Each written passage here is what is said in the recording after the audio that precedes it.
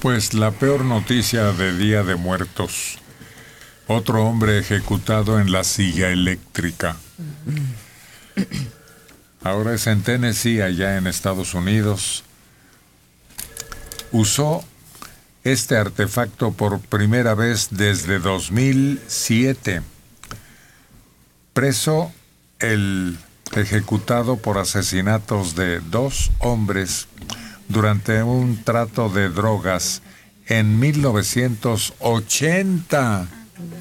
Desde entonces está en la prisión y todavía lo ejecutan.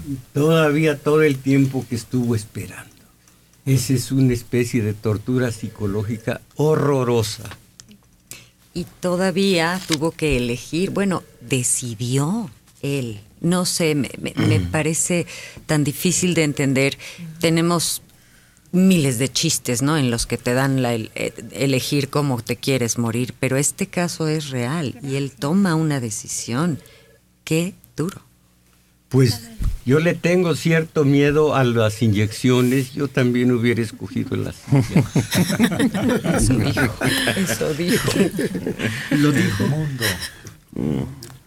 El mundo. Zagorski, 63 años fue declarado muerto en esa prisión de máxima seguridad de Nashville. Al optar, como dice Connie Madera, por la silla eléctrica en vez de una inyección letal como rehuye Tomás Mojarro. Argumentó que sería una forma más rápida y menos dolorosa de morir. El problema es que las últimas experiencias en este sentido hablaban de que las inyecciones no eran tan efectivas como se había asegurado. No, a veces no, no, daban efecto y pues la paciente sufría dolores inauditos. Y durante 20 minutos o más después de la aplicación. En todo el país, solo 14 personas más han sido ejecutadas en la silla eléctrica desde el año 2000, incluido un recluso de Virginia en 2013. Sigue siendo lo que es arrebatar una vida plena como castigo, pero cargando la cantidad de tiempo que estuvo en una prisión mientras se definía o se definía o se decidía. Sí, tantas apelaciones que hay, pues que van prolongando el tiempo de espera.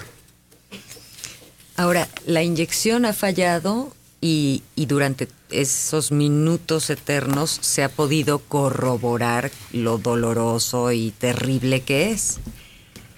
Pero la silla eléctrica, pues creo que nadie ha dicho cómo le fue o, cómo estuvo el asunto. Entonces debe ser muy difícil decir, es que es menos dolorosa la silla eléctrica. No, sé cómo pueden saber que es menos dolorosa. No lo es. No, no, solo es más rápido. No lo es porque ha ah. habido gente que no se muere a la primera y, ni, modo que no haya sentido nada. Entonces le, hacen dos, tres mm. intentos hasta que finalmente se muere o no se muere. Entonces tienen que pararlo y ver qué pasó. No, terrible. Eh, también se ha explicado lo que es el fuego en las entrañas, lo que es horrible eh, la silla eléctrica. De todas maneras, es muy feo. Dice Woody Allen, no me asusta la muerte, mi muerte, pero no quisiera estar ahí.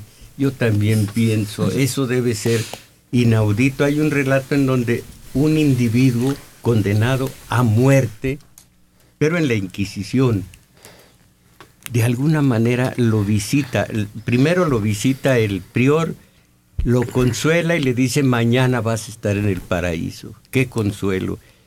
Y se va, pero ve el, el preso que hay una pequeña rendijita de luz y esto pues, es hermético el, la puerta, le mueve un poquito y está abierta todo, se describe toda la agonía de caminar en el convento aquel viendo los monjes que platican y demás, escurriéndose, escurriéndose, pero eso dura, ay, bueno, para él dura años hasta llegar a una huerta y ve que cerca está el, eh, la selva, el huerto primero y luego oh, los árboles. Dice, estoy libre. Y empieza a tocar la puerta. También está abierta la de la, la de la huerta. Abre la puerta y ve al peor diciendo, pero hijo mío, si estás ya listo, para, Dios te está esperando y querías huir de Dios. Esa es la es el horror de dejarlo a propósito, que tenga esperanzas, y se llama la esperanza el relato, que tenga esperanzas, que se arrastre, que salga y diga, ya estoy libre, y allí esté el prior esperándolo, hijo mío, pero si Dios está junto a ti.